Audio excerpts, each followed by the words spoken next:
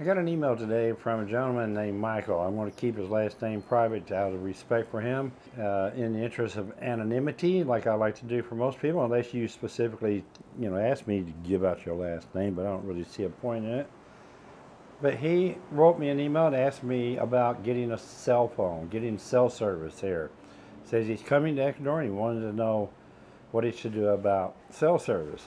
So uh, I thought I would just do a little short video and answer him on this video, and that way we can share the answer with everybody else. And as soon as I come back, we'll get started on it. Hey! Roger! Oh, Rocket Chick Roger! Hello there.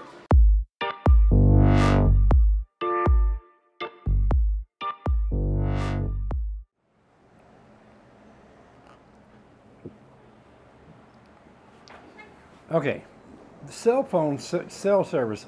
If here's what I did. Okay, Michael, I came before I came to Ecuador. I was with AT and T in the United States. I wanted to keep my phone number that I had for the last 15 years. The first thing I had to do was unlock my phone. Now, fortunately for me, I bought my phone, which was an Apple iPhone and I was able to go to AT&T's website.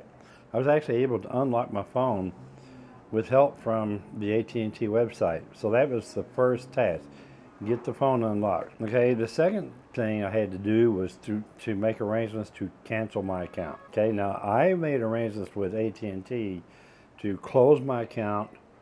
Uh, I believe I set a date that was two weeks after I arrived here. Okay, and on that same day, I was able to, and I don't know if you can do this now, we had to do it a little bit differently. Since I had a Google Voice account, which I recommend everybody get, get a Google Voice account.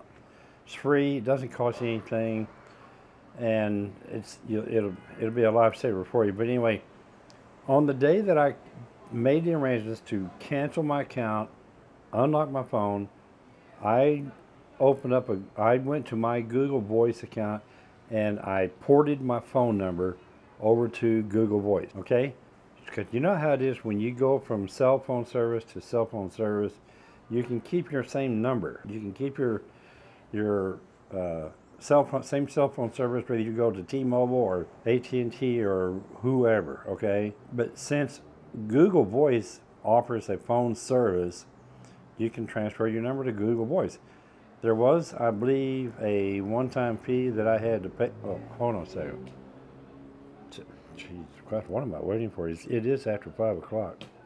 Got, got to have a drink. Uh, so, I transferred my service to Google Voice. It cost me 20 bucks. That's the one-time fee. 20 bucks to transfer my port my phone number, not transfer, port my phone number over to Google Voice. Then when I got to Ecuador, I personally, I went to Claro. C-L-A-R-O. I put it right here. Okay, Claro. And Claro is probably the biggest cell phone service here in Ecuador. There's another company called Movistar. Not Movie Star, it's Movistar. M-O-V-I-S-T-A-R. Movistar. I, I believe that Claro is the better service. And the reason why I believe that is that I've been out and about with Stella. She has Movistar. I have Claro. I've been out different locations throughout this province and where I had service and she didn't.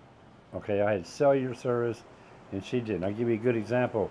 SOLCA, the cancer hospital, SOLCA, the cancer hospital in Portoviejo. I have, I always have service there, cellular service and Stella doesn't. Okay?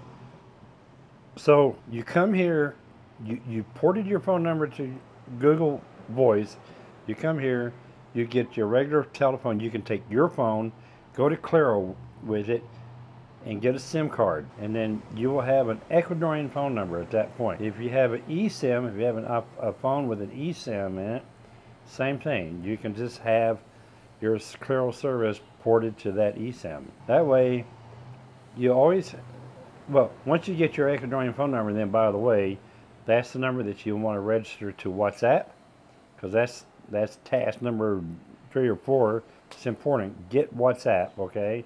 You should already have it before you come here. And at this point now, you have a phone, you have your previous phone number at Google Voice. If you need to make a call to the States, then you get on your laptop. You can actually do it on your phone if you're on a Wi Fi, and you can actually log into Google Voice and you can make a phone call, local phone call in the United States, off your old number. I do that whenever I need to call somebody in the States. That's how I do it. I do it from my computer with a headset and a microphone, and it works perfect for me. I do it often, and it doesn't cost me anything. It costs me the $20 one time fee to port the number over, and that's it. Okay? Here, I have a local number here, which I've never used because I'm always on WhatsApp or Messenger. But if I have to call somebody in the States, like I said, I use my computer and I call my Google Voice number.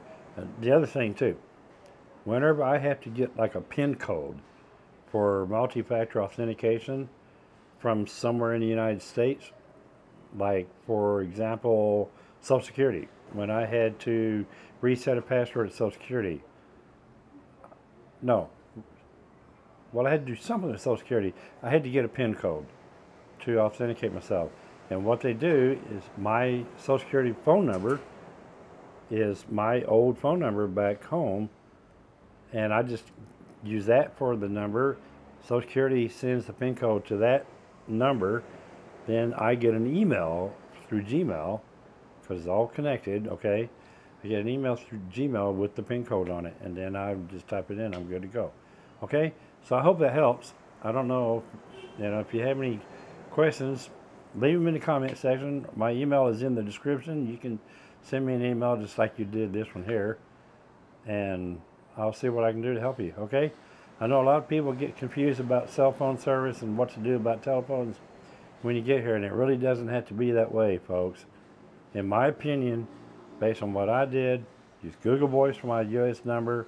I have Claro here for my local phone number, and I use WhatsApp and Messenger for messaging. Okay?